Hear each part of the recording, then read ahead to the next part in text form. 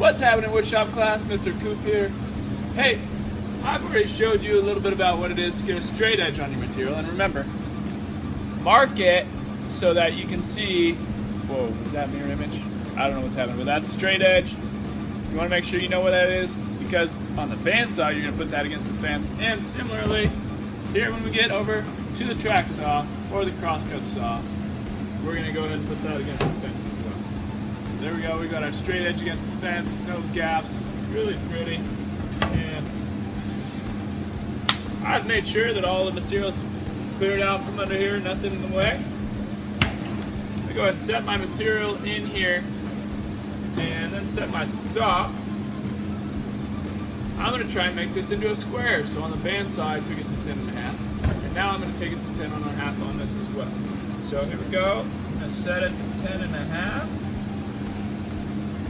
Right there. Make sure I turn this dial nice and tight. Okay, that's not moving anywhere. My stop is set, 10 and a half inches.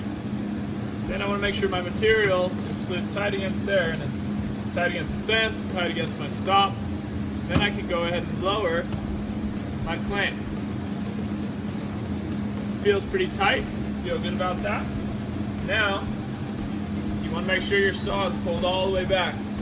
In this instance, I'm not taking off enough from my material to warrant me using this one because there's no material over here.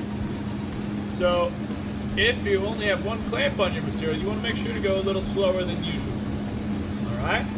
Because the saw has less, or it has more tendency to pull this thing out because it's not clamped on either side of the blade.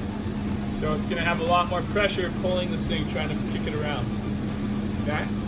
So, material's clamped, tight against the stop, stop set to what I want it to be, and I've got my clamp really tight. I've checked to see that it's not moving around. So this saw has a stop in the back, so you can pull it all the way back till it hits to the back, and it's gonna have a stop at the front here too. I really don't want you to like ram into this thing. This is not bumper cars.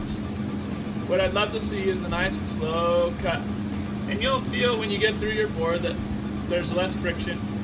And just make sure that you anticipate that so that at the end you don't have a jerky maneuver and run into the stop.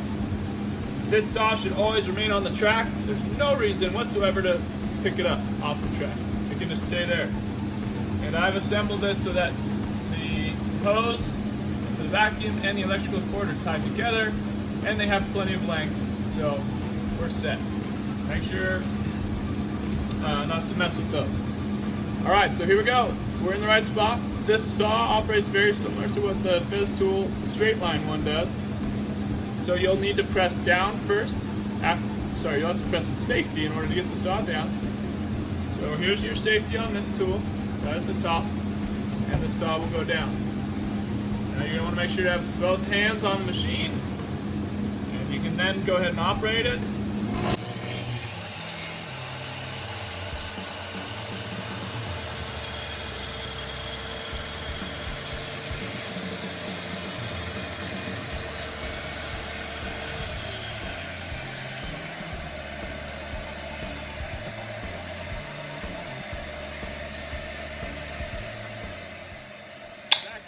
Hopefully you watched and saw that I moved really slowly with the saw in order that there wouldn't be any kick out or blowout.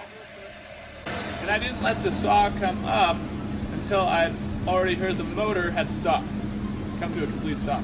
Now after that's done, go ahead and please pull it all the way back, return it to its original spot, and you can then take two hands, release that clamp, and need to, in order to get your material out,